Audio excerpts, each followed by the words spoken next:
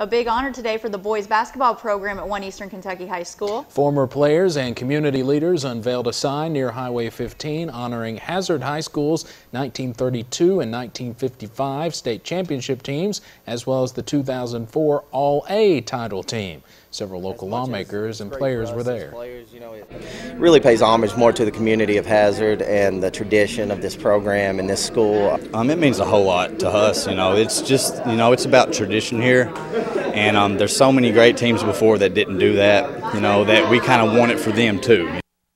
The Bulldogs defeated Bishop Brossart in 2004 to capture the All-A championship.